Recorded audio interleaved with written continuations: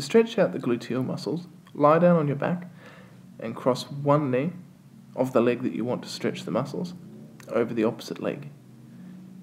Grab hold of the thigh of the opposite leg and pull it up towards yourself, keeping your other foot resting over the knee. You should feel the stretch through the gluteal muscles on your left.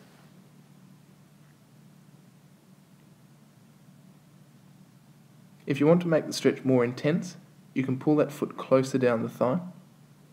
But if you start to feel anything in the knee joint itself, I don't recommend doing this stretch.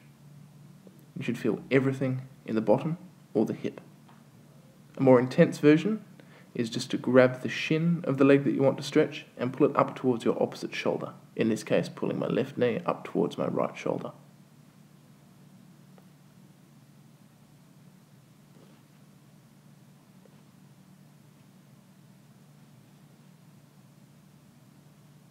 A good way to stretch the hamstrings, pull your thigh up towards your chest and hold it as close as you can. Without letting the thigh move, try and straighten your knee up toward yourself. You should feel a strong stretch in the muscle belly of the hamstrings. And you should feel some moderate discomfort whilst performing the stretch. So maybe two or three out of ten discomfort. You don't want to feel any pain.